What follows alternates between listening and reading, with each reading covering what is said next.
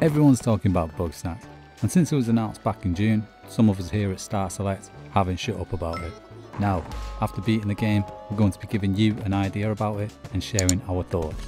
So, without further ado, let's talk about Bugsnax. Bugsnax is the latest game from the creators of Octodad Young Horses. You play the role of a journalist who's been invited to document the mysterious Snacktooth Island and show the world these strange creatures which are kind of bug and kind of snack, simply called Bugsnax. Upon arrival, you find your host is missing with no explanation and it's up to you to discover what has happened. Filbo is the first Grumpus you meet, the self-proclaimed mayor of Snaxburg. He explains how since the disappearance of their leader Lizbert, the other Grumpuses have fallen out and left their settlement off Snaxburg and are now scattered across the island. Grumpuses, by the way, are the Muppet-like creatures who live in this world. Each of them has a defining characteristic, similar to Smurfs or Mr. Men.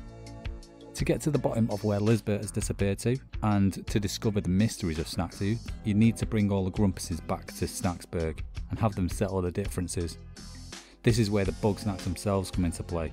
To gain the trust of the Grumpuses, you need to capture and feed them Bugsnax.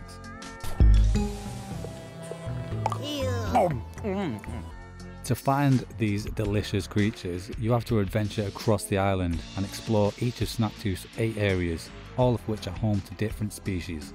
Each kind of Bugsnax has their own characteristics, which makes capturing them all different.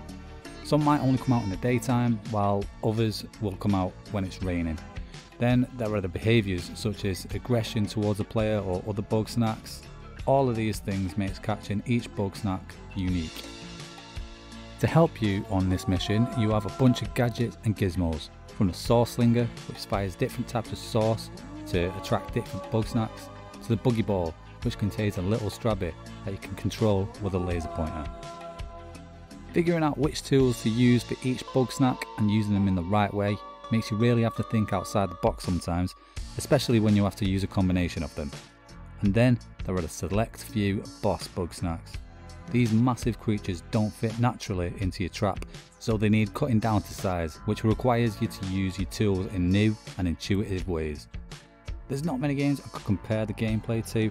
I'd say the closest would be Pokemon Snap, with the difference being you're not on rails and you've got a lot more gadgets in your arsenal.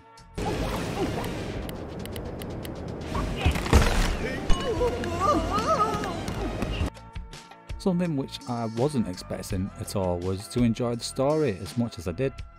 The Grumpuses each have their own reasons for wanting to come to Snacktooth, and as you get to know them more, you understand why they came there in the first place. They get pretty deep and become fully fleshed characters, which upon first impressions you wouldn't expect.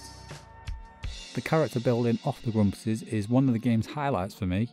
You might start off disliking some, but gradually you understand why they are the way they are. Like the island that they're living on, there's much more than meets the eye.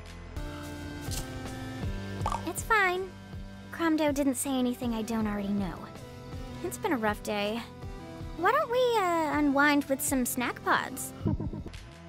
I played the game on a base PS4 and easily my biggest gripe with the game would be the loading screens. You get one every time you enter an area which when you're back and forth constantly can get really annoying because they're not particularly short.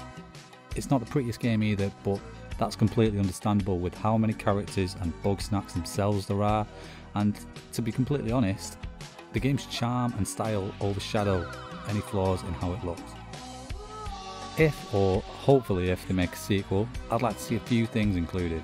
I think being able to customise your own character would be a great addition. And another would be being able to do something with the Bugsnax that you've caught, like maybe having them as pets or making a little zoo sort of thing. I don't know, I think the game's missing something like that and I'd like to see what they come up with.